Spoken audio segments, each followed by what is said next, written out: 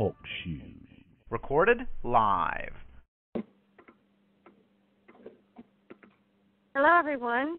Welcome to the University of Ucadia Talk Shoe Call.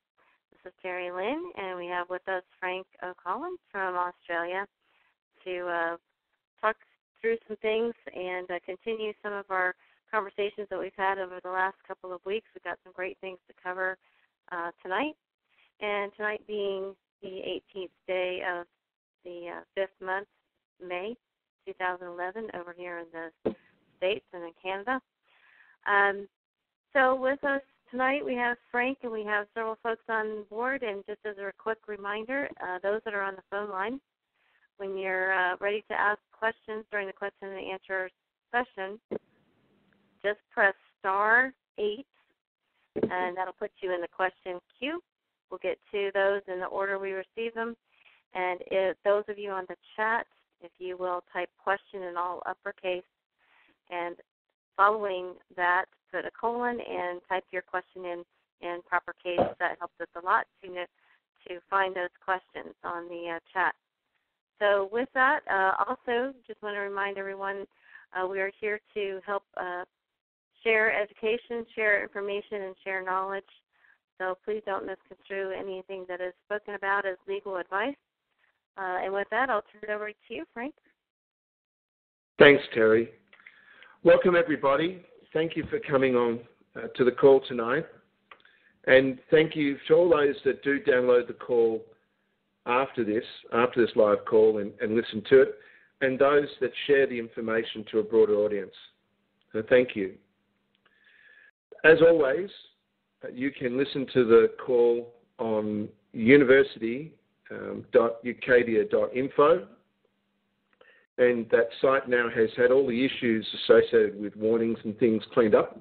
So if any of you have had any kind of warnings or, or concerns, that's all been fixed up now. So you can go to university.ucadia.info, or of course, you can listen to the call again from TalkShoe.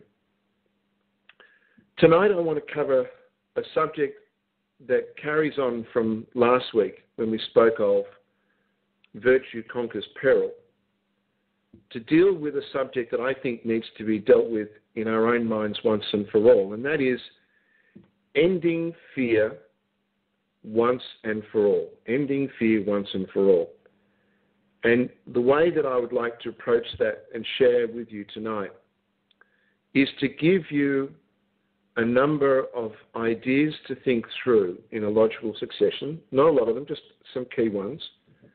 That if you keep these ideas in mind, there is no way, there is no way people can control you again, control anyone again with fear. Fear and force being the two most powerful weapons for the ruling families to remain in power and when fear is no longer feared, you are taking away one of their most powerful weapons. So I want to cover that, ending fear once and for all. I want to share with you some of the update information that we've been covering on the canons of law, and I know this has been a work in progress. And uh, I tell you, I'm, I, i am frustrated that I can't show the finished product to you yet but boy, it, it has been a fantastic research process. There's been a number that have been enormously helpful in the uh, discussion of the ideas, and I'm very keen to share with you some of the fantastic groundbreaking work in the canons and, and especially in the cognitive law. I want to share with you an important historic communication that we are sending out within the next week ahead of a day uh, called Pentecost. And I want to explain to you this is a package that's going to Benedict the 16th, to the head of the Jesuits, and to the head of the Franciscans. And it signals the end of a, the, the master trust, the trust of all trusts, a trust called Pontifex Romanus that was established in 1455. And this document and the, these instruments signals the lawful, moral, legal end of that trust. And I want to explain to you why it's so significant and share with you how that's going about. And then I want to finish off tonight and, and talk honestly about the financial system and the process of the financial system, how it's going, why we haven't turned it on yet, but just explain to you some of the logic behind it and explain why it's so important that the communities need to be finished before it's turned on, and then talk about just issues that I have present situation. And I want to share with you just where I'm at because obviously, uh, if I'm doing this work, and I, I, want to be honest with you and tell you where I'm at financially, because I'm having a rough patch like all of you, and I need ultimately, probably the first time that I'm going to ask this directly, I, am going to ask if if uh, any of you can help through this, because with six months to go, I want to make sure that everything I'm doing is delivered in that time. And really, ultimately, you are the patrons of Ucadia. There is no one else. With that all in mind, I hope with what we shared tonight that you can go away from this call being more resolute in knowing who and what you are, in sharing this information with other people to say, we are talking about the end of the reign of fear, people pressing our buttons to control us, ending the reign of the control of mind, and that whatever happens, in the next few days, weeks, and months, whatever happens, the world will not be the same. We will see an end. So that is what I hope. I hope that this adds to that process and adds to your knowledge, and I look to your feedback. So let's get started. Well, speaking of fear,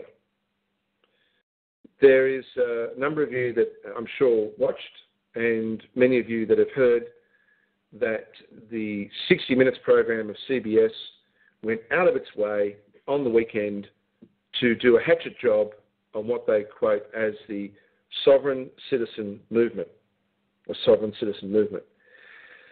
What some of you may not know is that the program was almost entirely prepared, researched, and I'm not clear whether they funded it, but certainly in terms of preparing it, that you could say that they did help fund the program through a group, the Southern Poverty Law Centre, which is a propaganda arm of the Anti Defamation League, the B'nai B'rith. And so that should tell you ultimately who was behind the propaganda of 60 Minutes. In fact, the major spokesperson on it, uh, uh, uh, a, a, a JJ MacNabb, is a paid disinformation agent through this arm. They call it Southern Poverty Law Centre. They could have called it the old War Widows Society if they could get away with such a name. And it is absolutely the same modus operandi as Chevron and Shell and BP did in the 90s and the 80s, where they formed all these propaganda arms and called them clean energy lobby and and uh, free energy lobby, which was nothing more than to protect their interests. So they did this program, and they put it to air, and they tried their absolute best to slander and accuse that there is a group of people, predominantly in America, but around the world, that uh, that are seeing government as corrupt, seeing government uh, as now viewing the, the population as an enemy, using the law system and paperwork to try and get remedy, and in some cases, when all hope is lost, that, that some people on the fringes who are associated with this may have resorted to violence. Well, while it is sad, and it is particularly sad when anyone has found themselves resorting to violence, and no one should ever endorse violent acts, no matter what the cause. What CBS and 60 Minutes and those that promoted it showed is that they are completely out of touch with the American people, the Canadian people, and the people of the world. Because far from promoting a message of fear and danger, far from succeeding in promoting a, fractionalizing or isolating of a group, they basically told the world that people who wish to stand up and believe that the constitutions of their country mean something are terrorists. And whether they realize it or not, and I don't think they do because I think they're stupid, they talk amongst themselves and they don't listen. What they have actually done is an enormous service to those that are waking up. Now, they could have picked a million different words to call this group. And I thought of some the other night when I was thinking about what they could have called. They could have named this group such names that the name itself did half the work. Instead, stupidly, stupidly, they have chosen a name that reflects the intention of the founding fathers of the United States. A sovereign citizen, by definition, is one that subscribes to the sovereignty bestowed to them under the US Constitution.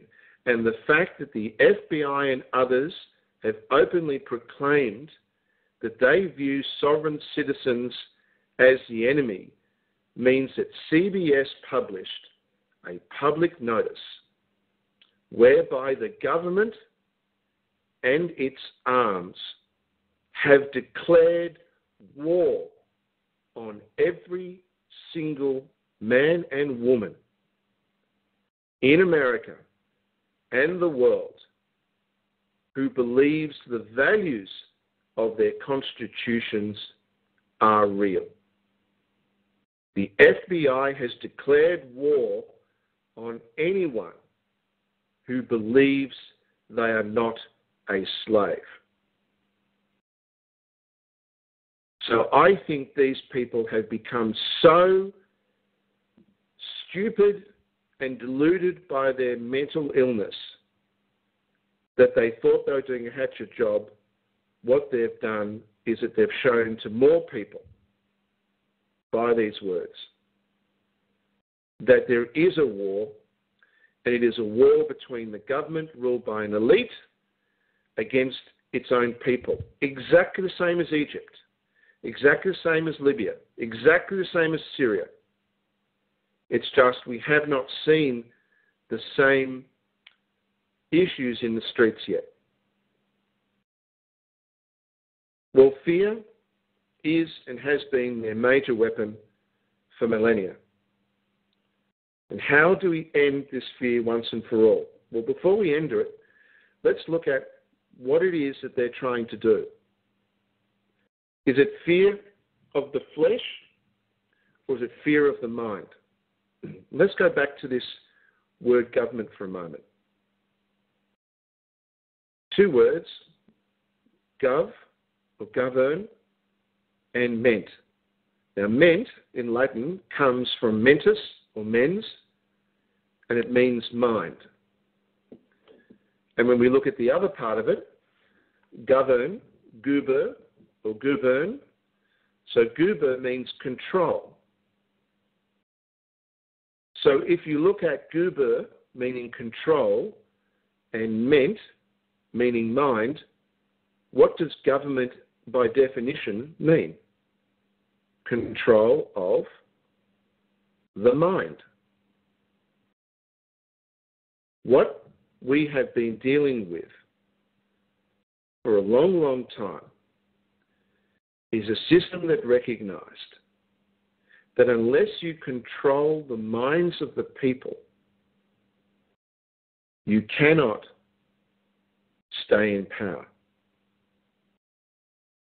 So the government and the fears of terrorist attack and the fears of coming comets or brown dwarfs or whatever Elenin might be, or the fear of earthquakes, or the fear of losing your job, or the fear of the collapse of the economy, or the fear of cancer,